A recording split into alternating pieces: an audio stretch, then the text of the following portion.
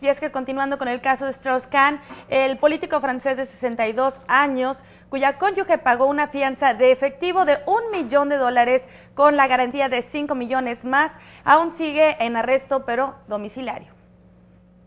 El exdirector del Fondo Monetario Internacional, Dominique Strauss-Kahn, salió de la cárcel y quedó en arresto domiciliario para enfrentar un proceso legal por ataque sexual, informó el Departamento de Correccionales de Nueva York. Strauss-Kahn, quien dejó su reclusión en Enriquez Island, se hospedará en forma temporal en un sitio del Bajo Manhattan, pues no podrá pasar su arresto en un lujoso edificio, luego de que le fuera negada a su esposa la renta de dos departamentos. El político francés de 62 años, cuya cónyuge pagó una fianza en efectivo por un millón de dólares y un depósito de garantía por 5 millones adicionales, fue entregado en custodia a una empresa privada de seguridad, cuyo costo será sufragado por su familia.